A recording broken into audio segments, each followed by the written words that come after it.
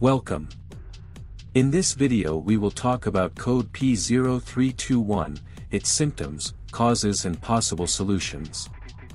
The P0321 trouble code is associated with ignition or distributor engine speed input circuit range or performance, indicating a range or performance issue with the circuit that monitors the engine speed from the ignition or distributor. Code symptoms P0321 1. Illuminated check engine or service engine soon light on the dashboard.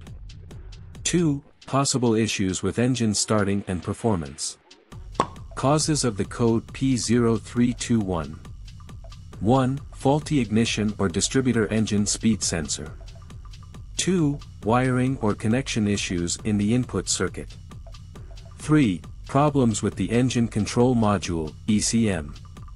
Code Solutions P0321 1. Inspect and, if necessary, replace the ignition or distributor engine speed sensor. 2 check for any faults or damages in the wiring or connections of the input circuit.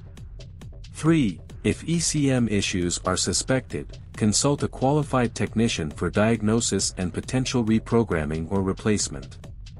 Thank you for watching this video, don't forget to leave a like and a comment, see you next time.